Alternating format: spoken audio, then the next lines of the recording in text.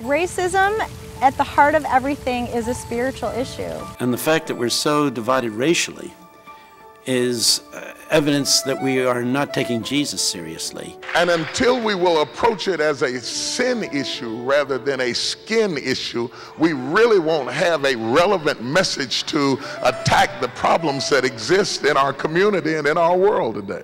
I see an opportunity for individuals to come and see what unity is from the perspective of the way God intended. It will be unlike uh, any experience uh, you've had. It is so Bible centered and focused, built off the agenda of Jesus Christ. Gets to the substantial heart and history issues that are necessary if we're truly going to be brothers and sisters in Christ across all ethnicities.